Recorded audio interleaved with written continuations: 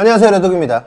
이번 영상에선 Antec의 신제품 P82 Flow 케이스를 리뷰해 볼 거예요. 이번 달에 출시한 굉장히 따끈따끈한 제품인데요. 어떤 녀석일지 같이 한번 보실까요? 먼저 이 녀석의 크기는 너비 215mm 높이 480mm 깊이 454mm로 middle tower 제품 치고는 약간은 두꺼운 편이에요. 디자인 자체는 RGB 떡칠인 요즘 유행과는 달리 그냥 심플하고 단정한 그런 모습입니다. 이 케이스가 단정해 보이는 가장 큰 이유인 요 전면 패널은 아쉽게도 그냥 꽉 막혀 있어요. mesh가 아니에요. 참 안타까운 거죠. 대신 요 상단과 그 다음에 요 사이드 그리고 요 하단부 쪽에 여기 보이시나요?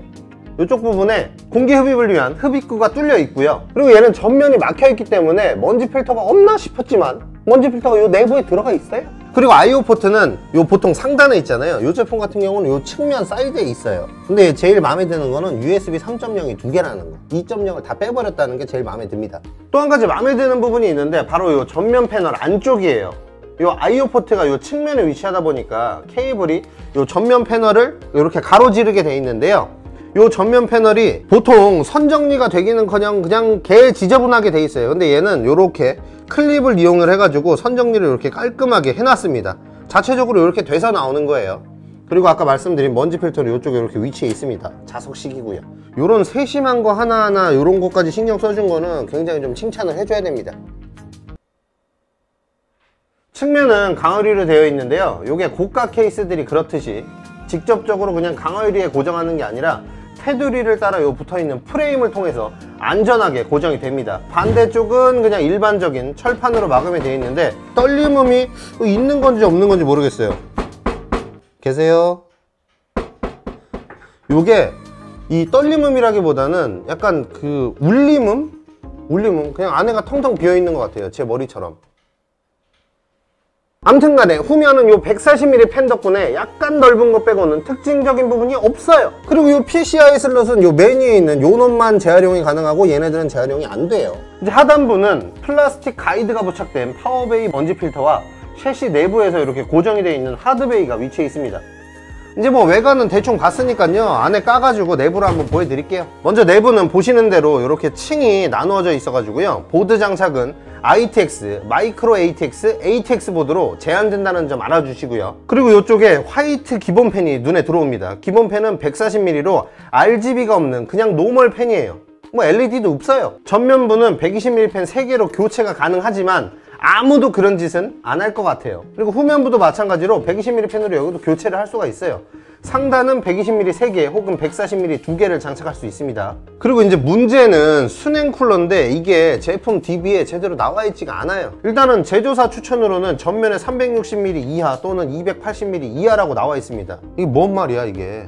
360mm 이하 280mm 이하 그럼 240까지만 된다는 거야? 뭐야 그리고 후면부는 140mm 이하 또는 120mm 이하를 추천하고 있어요. 그러니까 뭐 100, 140mm나 120mm 쓰라는 얘기겠죠. 그리고 이제 제일 골 때리는 요 상단부인데요. 요 상단부는 제품 DB 스펙에는 상단부 내용 자체가 아예 없어요. 근데 또 이게 또 제품의 DB 그 사진에서는 상단에 240mm인지 280mm인지 2열 순행을 박아 놓은 게 보이고요 그리고 이게 또 다나와 상품 의견란에 가보면은 이 상단에다 쿨러 다는 걸 또 추천한대요. 뭐 하자는 거야? 뭐 어쨌건 상단부 쪽 요 타공은 240mm, 280mm 다 되어 있습니다. 근데 이게 아마 튜닝램이랑 전면팬 간섭 때문에 360mm는 들어가기가 조금 힘들 것 같아요. 어쨌건 간에 안텍 DB 담당자 이거 보고 있죠? 지금 빨리 가가지고 수정하세요. 이게 뭔 말이야? 이제 후면에 있는 선정리 공간을 볼 건데 여러분들 보시면 깜짝 놀라실 텐데 놀라지 마시고 잘 보세요. 와... 아무것도 없어. 이게 뭐야 이게? 선정리를 어떻게 하려는 거야? 아니 얘네들은 다 잘해놓고 왜 이 선정리 공간에서 이 삽질을 하는 거야 대체? 아, 참 이해가 케이블 타이 홀도 없고 그냥 아무것도 없어요. 없어! 뭐야 이게? 만주벌판이야 뭐야? 여기 있다 여기 여기 세개. 왜 이딴 걸판이? 그나마 얘의 특장점이라고 할 만한 건 요 분리식 SSD 장착부 요건데요 여기 뭐 위아래에 있는 손나사를 풀러서 이제 판때기를 분리하고 거기다가 이제 SSD를 장착하는 그런 방식이에요. 그대로 여기다 다시 달 수도 있고요. 요 케이스 요 내부 쪽으로 SSD가 보이게 이렇게도 달 수가 있어요. 이거는 뭐 장점도 아니고 그냥 이놈의 그냥 특징이라고 보시면 될 것 같아요. 뭐 장점이라고 할 수는 없지. 그리고 여기 하드베이에도 SSD 장착이 가능해서요. 여기에 두개 그리고 방금 요 분리되던 요 판때기에 두 개에서 총 네 개를 달 수가 있고요. 하드는 하드베이에 최대 두 개까지 장착이 됩니다 뭐 그렇게 돼 있어요. 아 근데 이 후면이 진짜 나 충격적이네 어떻게 이렇게 만들 수 있지? 뭐 아무튼 뭐 얘는 뭐 불 들어오고 이런 것도 없기 때문에 뭐 보여드릴 것도 없어요. 그냥 바로 결론으로 넘어갈게요. 자 정리하겠습니다. RGB 없는 그런 케이스를 원하시는 분들에겐 굉장히 괜찮은 제품이에요. 하지만 내부 쿨링에는 적합하지 않은 전면이 꽉 막힌 구조라서 디자인이랑 같이 그 부분에선 굉장히 호불호가 많이 갈릴 것으로 예상이 됩니다. 무엇보다도 가장 중요한 건 선정리 공간이 그냥 개오바라는 거. 아시겠어요? 결론입니다. 안택! 장난해? 저희가 오늘 준비한 영상 여기까지고요. 영상이 마음에 드셨다면 구독과 좋아요 알림 설정 부탁드리고요. 다음 영상에서 다시 만나요. 안녕